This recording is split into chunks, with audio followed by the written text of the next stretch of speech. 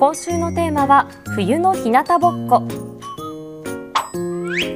撮影は猫写真家の中山幸代さん。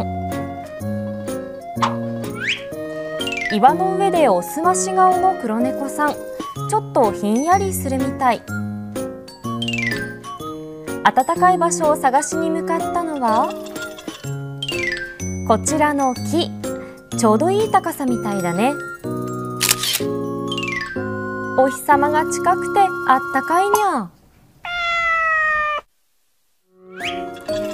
雲一つない青空のもとひょいっと休憩スポットにジャンプ。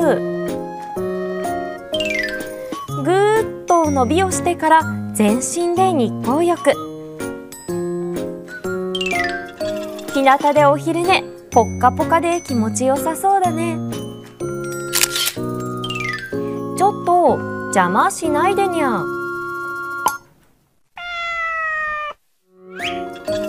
日陰はちょっと寒そう。イチョウも頭に乗って風も強いのかな。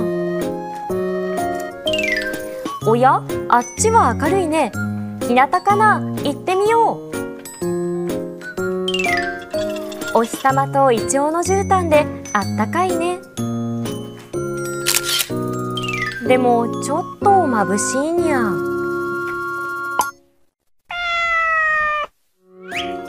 公園でゴロゴロしている猫くん。でもなんだか今日は寒そうだね。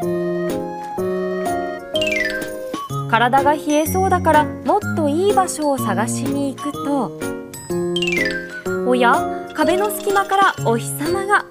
座ってみたらポッカポカ。ところを見つけたにゃ